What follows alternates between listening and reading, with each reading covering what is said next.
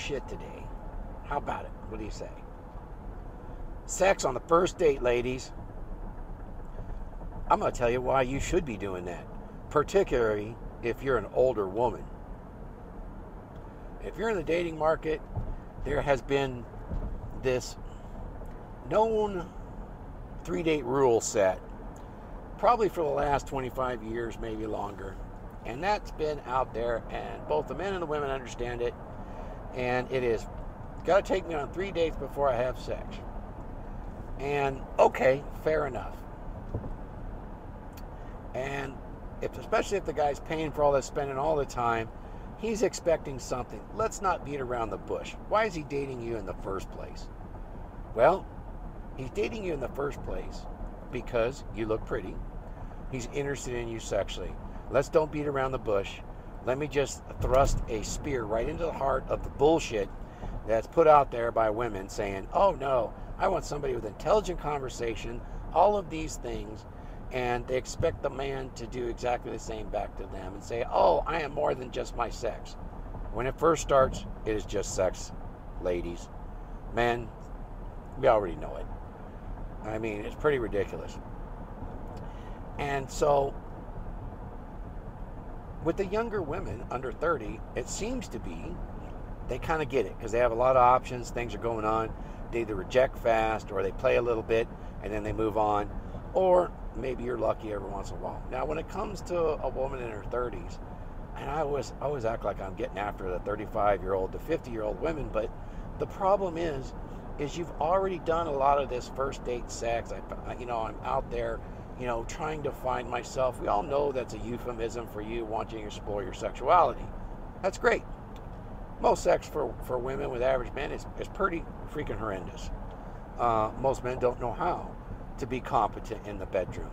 And that's that's unfortunate, but that's the way it is right now. And there are those of us that are trying to correct it. But that's neither here nor there, other than if you're going to have a good relationship and you want a long-term relationship out of it and not just you know a kind of a casual sex hookup culture sort of thing which perfectly fine in my opinion it's just very few men even play in that arena. It's really open to women and, and, and only open to an extremely small percentage of men. Uh, so let's talk about most of us. For for women that are past the wall in that age range they've had every opportunity sexually that you can imagine. And so they're at the point in their life look, I've had all of these things. I would want something more. What they're feeling is that desire for a long term relationship that actually offers some fulfillment. Women will say it makes me happy, but it's actually fulfillment of fulfilling her biological uh, imperative of procreation. And the best way to do it is by pairing up and having a father involved. At least that's what's driving it. So, what she's thinking at that point is, I got to look at the other qualities now because I don't have much time. Sex is easy for me, so why bother? Let's make a man jump through the hoops and see what he's got to offer because I've been around and I've been offering sex up to these men that I want but they're not going very far with me, or I am rejecting them for want to find myself. I'll say this to all of them, and it'll piss you off. That guy that you wanted to spend your life with, he's been in your life, probably more than once. That's just a fact. There is no soulmate. The problem with it that you're facing is that you think that the sex is easy for men, and so they should look beyond that. Men cannot look beyond that. So making a man wait for sex is never ever worth the wait. You want a long-term relationship? Let me let me spell it out to you. You want a successful one? I've been in one for over 30 years. The sex has to be on par. It's got to be incredible and passionate beyond what you can imagine. Now, it doesn't have to start out that way, but you got to have similar libidos. And if it's not similar, you're not going to grow into it. I'm sorry. It's just not going to happen. And you got, now, it can all be expanded, but it's got to be similar to start. And you've got to be able to be willing to work with each other to get to that real passionate level. And you need to get there as fast as possible. Why do I say this? Because when you have that really good, passionate sex, you can't keep your hands off of each other. That is the glue that holds a relationship together, and it smooths over a lot of the little petty shit that you'll blow into an incredible nightmare of an argument. It really does. Because there's actual physiology that exists. And I'm not going to go into the details here. You can find it behind the paywall or you can find it somewhere else. That a woman's brain chemistry changes rapidly with an orgasm and arousal to the point where it lasts for hours and even up to days from having this quality, passionate sex life. It's pretty amazing. There's even studies out there that show that the more frequent the sex, on average, the longer you live, and the rest of it's bullshit. Look it up. You can find studies either way, but I do believe the one that was done out of Australia and East Asia. So you can look that up too. I'm not going to give you the link. I don't really give a shit. Um, because if it works for me, that's good enough. So back to this passionate sex. Are you going to wait five, six, seven dates? I know somebody that waited a year, a year of dating weekly to have sex. Well, the sex wasn't that good. Well, fuck no, it wasn't that good after all that.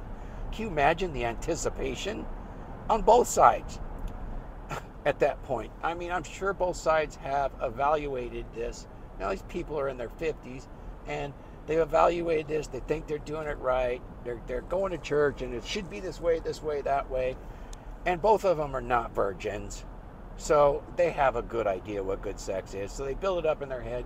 A year later, it happens Talk about rejection and disappointment. Are you kidding me? They would have never won in that situation, neither one. So, what are you saying, Thor? Here's what I'm saying I'm saying you got to get to that sex as quick as possible.